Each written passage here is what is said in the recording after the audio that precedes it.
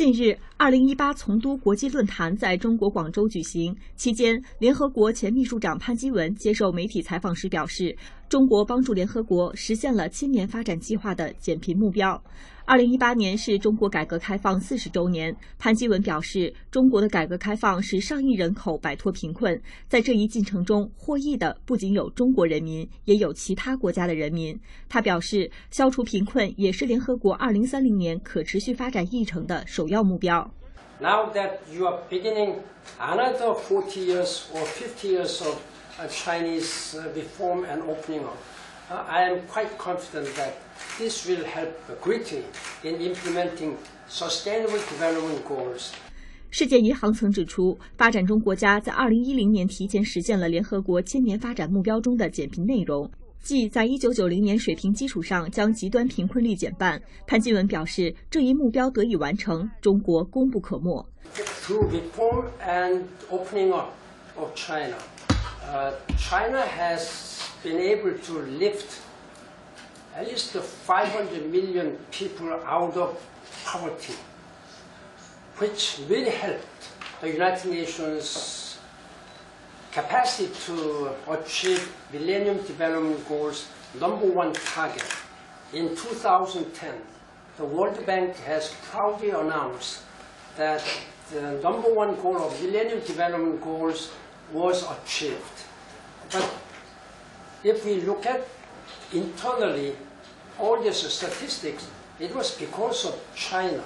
Uh, China has lifted hundreds of millions of people out of poverty. That has boosted the statistics of the World Bank 谈及目前多边主义面临的挑战，潘基文表示，近七十年来，世界和平与稳定在多边主义体制下得到了加强。当前，有些国家不尊重多边主义这一现代国际社会秩序的基石，这是非常令人忧虑的。潘基文表示，中国对多边主义的贡献是巨大的。On September 3rd, 2016, the President Xi Jinping, on the occasion of G20 summit in Hangzhou, and presenting the China's and United States instrument of ratification of a Paris climate change agreement. That has really spurred and accelerated uh, this Paris climate change agreement come into effect.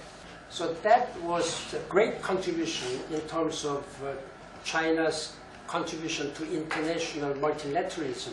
潘基文说，习近平主席还在2015年到访联合国总部时，表达了对联合国发展议程的大力支持，并在中非合作论坛上宣布了中国对非洲的多项合作计划。他表示，中国领导人的这些做法都非常值得赞赏。提及“一带一路”倡议，潘基文说，这一倡议意味着中国的发展成就是可以同其他国家共享的，通过国际合作达到双赢的结果。Uh, development.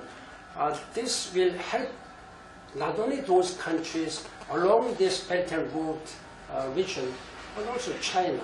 So it's a mutual cooperation in, in 21st century. We have to work together. We are all in this together.